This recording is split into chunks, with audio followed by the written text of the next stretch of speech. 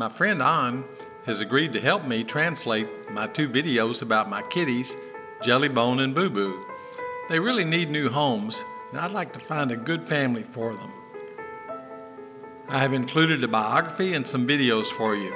I sure am going to miss them a lot.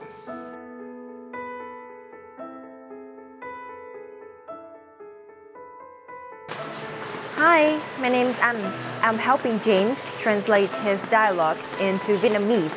He's really trying to find new homes for his kitties. If you can help, please leave a comment and contact information. In the videos, James will tell you about his kitties. He's really sad to have to give them up. However, he has no choice. We'll be leaving Vietnam soon. Chúng tôi sẽ rời Việt Nam sớm. One of the saddest things will be leaving my companion Jellybone behind. Một trong những điều đáng buồn nhất sẽ phải để người bạn đồng hành này của chúng tôi ở lại, Jellybone. Our future is just too uncertain to travel with our kitties. Tương lai của chúng tôi không thể chắc chắn để có thể đi du lịch với những chú mèo này. I'm really trying to find a good family with a big house for Jellybone, but no good news yet. Tôi đang rất cố gắng để tìm một gia đình tốt với một ngôi nhà lớn cho Jellybone, nhưng vẫn chưa có tin tức tốt nào. If any of my viewers can give Jellybone a home or help him find a new family, the help would really be appreciated. Nếu bất kỳ người xem nào có thể cho Jellybone một ngôi nhà hoặc giúp cậu ấy tìm được một gia đình mới, chúng tôi sẽ rất cảm kích sự giúp đỡ này. Jellybone was about a year old when he was abandoned by a neighbor that moved out. Jellybone à, chỉ mới khoảng một tuổi khi cậu bé bị bỏ rơi bởi một người hàng xóm đã dọn đi nơi khác. He came up to me on the street and rolled over for me to pet him. I instantly liked the boy. Cậu ấy đến với tôi trên một con đường và lăn đến để tôi có thể nựng cậu ấy. Tôi ngay lập tức thích cậu ấy liền.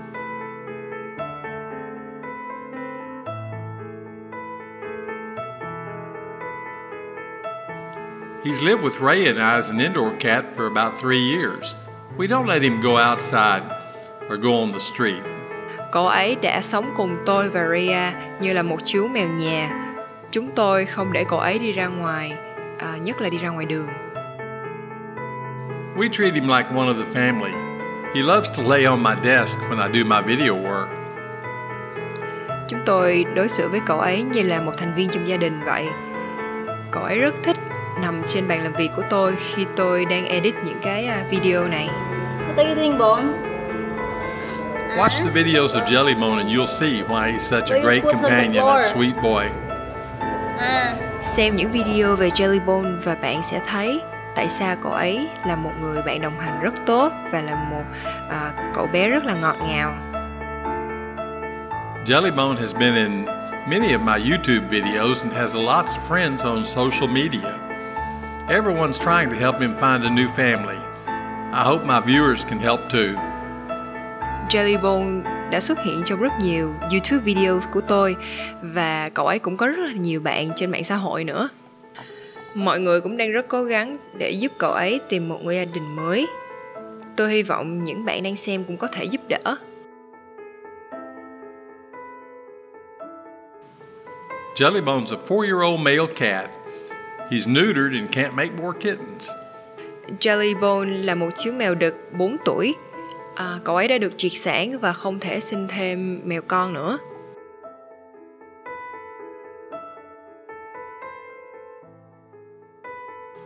Jellybone's really a sweet cat and loves people. He also gets along well with other animals. Jellybone là một chú mèo thật sự rất đáng yêu và rất thích con người. Cậu ấy cũng rất hòa thuận với những chú chó mèo khác. Jellybone's really big. He weighs seven and a half kilos. He's very healthy and has had his rabies shot. Jellybone là một chú mèo rất to. Cậu ấy nặng khoảng 7 kg rưỡi. Cậu ấy rất khỏe mạnh và đã được à, tiêm phòng dại. What are you doing? You in my chair, bud? You're in my chair, Jellybone. Do you care?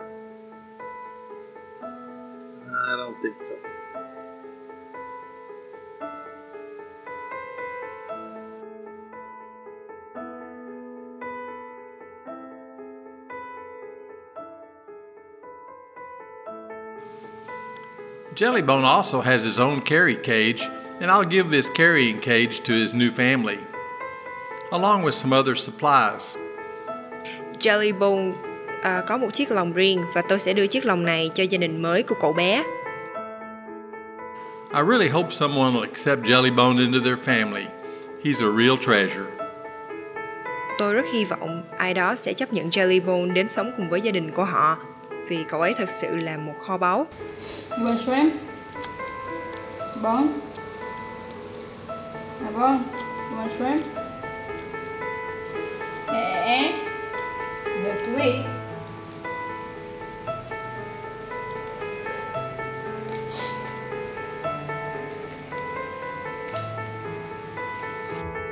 This is JR, the Texpat in Saigon, saying thank y'all for watching.